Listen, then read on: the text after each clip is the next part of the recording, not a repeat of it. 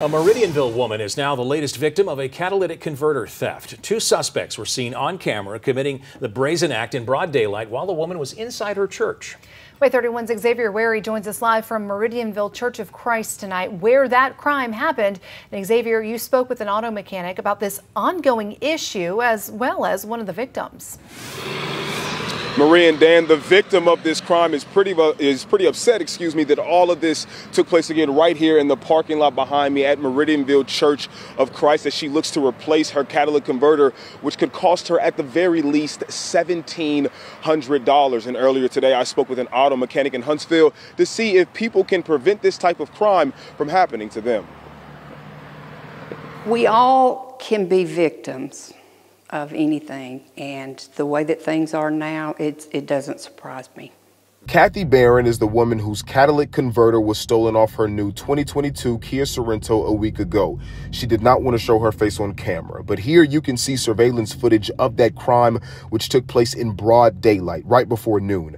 Barron says she was here at the church with her sewing ministry when it happened. Evidently, they are targeting the newer cars because you can they can get more money whenever they sell them. It's a crime which takes very little time for thieves to strike. They can get a sawzall and, get under there in 30 seconds to a minute, have it uh, stolen and gone and never even realize it. And today, Kevin Call with Kevin's Auto Repair showed me how costly parts are underneath your car and what thieves are aiming to steal. Uh, this is a diesel particulate filter. It's kind of like a catalytic converter for diesels. So where a catalytic converter might be a couple hundred dollars to maybe a couple thousand. This diesel particulate filter could run you fifteen to twenty thousand dollars if it's stolen. Which begs the question: Is there anything I can do to prevent this from happening? Uh, there are some companies that make cages to go around the catalytic converters to help keep thieves from stealing them. They could still steal them, but they're going to go after a quick mark versus one that's got a cage around it. However, Barron says she prefers not to take that route. I'm not going to add anything, you know, on the car like that because I'm not sure that even that's safe.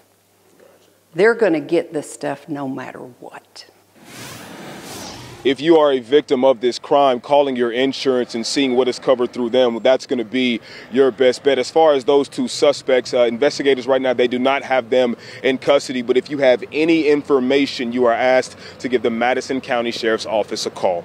Reporting live for you all tonight, I'm in uh, Meridianville, Xavier Wary, WAAY 31 News.